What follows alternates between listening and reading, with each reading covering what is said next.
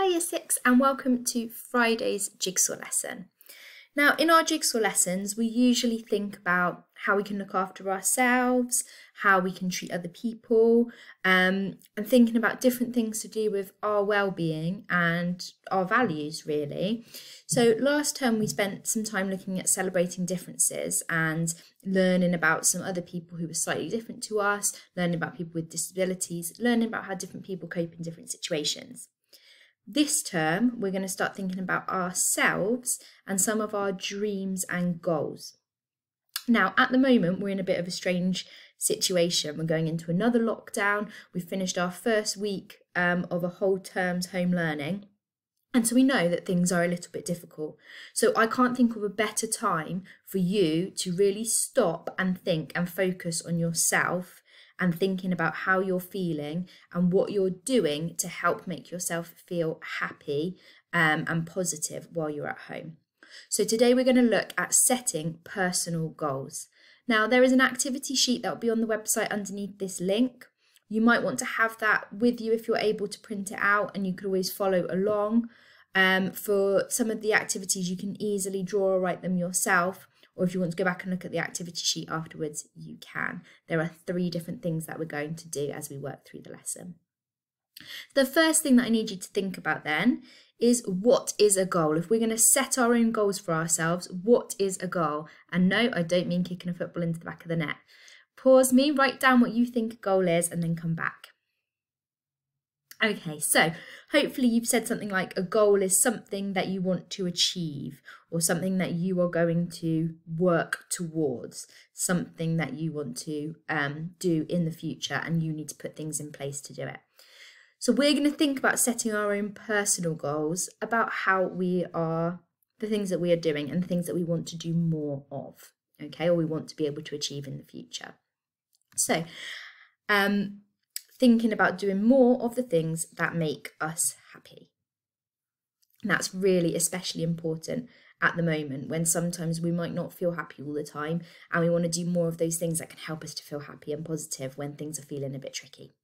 So have a look at this Venn diagram now. So we've seen Venn diagrams usually in maths and you've got three categories and they're each represented by a circle and there's some overlap in the circles there as well. So we're going to think about the things that make us happy, the things that make us healthy, and the things that make us feel comfortable. And I want you to jot down anything that you can think of that falls into those three categories. Now, if you haven't been able to print this out, it really doesn't matter. It doesn't have to be in a Venn diagram. You could literally just jot it down as um, three sections, okay? But if you've got the Venn diagram, then things that go here will be things that make you happy and comfortable. Things that go here will make you healthy and comfortable, and in the middle, all three. If I give you a quick example before you pause me and have a go yourself, um, something that makes me healthy, something makes me healthy and happy is actually getting enough sleep. So really important to get enough sleep to stay healthy. And when I don't have enough sleep, I am pretty grumpy and not feeling too happy. Um, something else that makes me healthy, uh, I guess brushing my teeth. Doesn't necessarily make me feel happy to brush my teeth, but it makes me feel healthy. So that's going to go in that one. Things that make me happy, uh, FaceTime with my sister. Okay. So that's a kind of good example. It makes me feel comfortable um, being at home with, ooh, with my family. And that one makes me feel happy as well. So it would go in that one. All right, so there's a quick example. Um, pause the video now. As I say, you can either have the sheet or you can just jot it down. Think of as many things as you can that make you feel happy, healthy and comfortable and resume the video when you've finished. Okay, great. I hope you could think of lots and lots of other examples. We're going to move on now to think about how much of our day we actually give to feeling happy, healthy, and comfortable. And some of those things that we've noted down, how much of our time is actually spent doing them. So, this is a time tracker. And this circle, you've got a copy on the sheet on the website as well if you need it. This circle is split into 24. So each section represents an hour of the day. And we are going to fill it in, colour it in to colour code the amount of time we spend doing things on an average day. So have a think, first of all, how long on average, usually, do you spend sleeping? How many hours sleep do you get?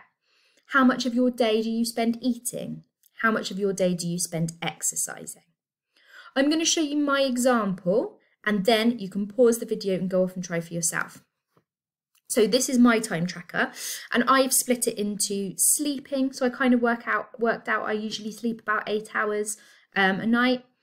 Some uh, time for eating, some time for exercising. I don't every I don't exercise every day. Maybe I should. I've been doing a few Joe Wicks workouts, so that counts as exercise. But usually it would just be going for a walk, but that's fine. So I've put an hour a day in. Lots of my hours on the week in the week are spent working, so I've got those. I've got um, my hours spent with Freya, either playing with Freya or giving Freya a bath and putting Freya down to bed. Um, when she's at nursery, I don't spend as many hours with her, obviously. Um, if this was a weekend, it would probably look quite different, but I've done my day for a week. I've got a bit of time there where I would spend checking in with my family or friends, maybe having a FaceTime or just ringing them. Um, and then a little bit of time for relaxing where I might read or I might watch TV and just chill out and not do much of anything. So, all of those things, some of those things will have featured in what makes us happy and healthy and comfortable. You know, exercising, eating, sleeping, all keeping us healthy, spending time with our family, friends, or doing things like reading, keeping us happy. So it all links in. And I want you to do this activity to make yourself think Am I doing enough? Of the things that are really good for me? Am I doing enough of the things that keep me healthy? Do I remember to fit those things into my day? So you can either think of, say, yesterday as an example of a whole day, or you can think about a normal average weekday for you. Okay, pause the video here. Grab some colours. If you don't have loads of colours, just write in each section what it is sleeping, eating, friends, whatever and come back once you've finished. Okay, I hope that you found that an interesting activity um, to do. I know that I did. I mean, a lot of my time spent sleeping, but a lot of my time spent working as well. So that was a little bit shocking to see that written like that. A lot of sleep, a lot of work, and then less time for everything else. We're going to move on from that now to actually be, actually set our goals. So I want you to think about, look at your tracker and think, do you always spend enough of your day doing the things that are good for you or the things that you enjoy? Or really, were you finding it difficult to plot how long you spend doing some of those things? What I want you to do is set yourself three goals for next week. They need to be realistic, okay? So don't make them too drastic or too crazy uh, you know, you probably don't want to say, oh, I'm going to do six hours of exercise every day because that's probably not very realistic. It's not actually going to happen. It's not actually going to be that good for you.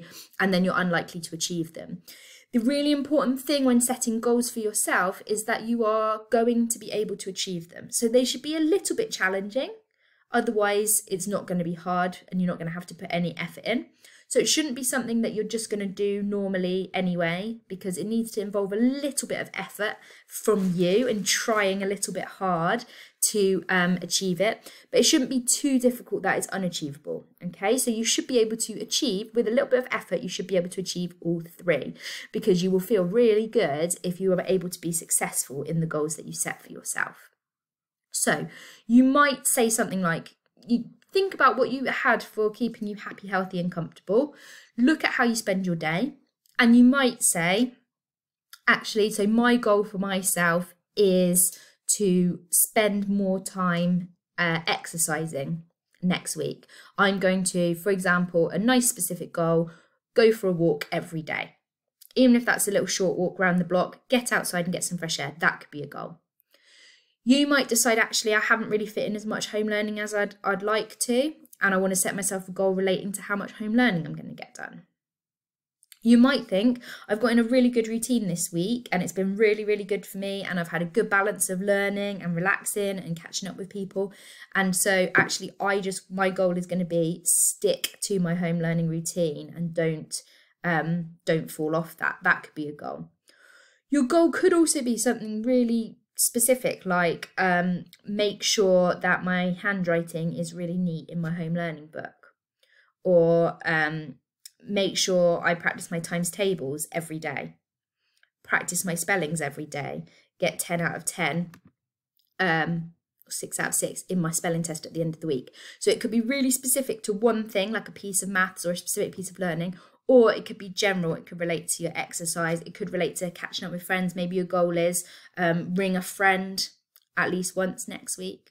Okay, so end the end the lesson here set yourself three goals, have a really good think about it, write them down so that you can remember them and you can commit to them. We would love to see what your goals are, so send them through. And then next week, in our next jigsaw lesson, we're going to spend a little bit of time reflecting on the goals and whether we managed to achieve them or not. So thank you for sticking with the lesson. Get your goals noted down and then send them across. Bye bye.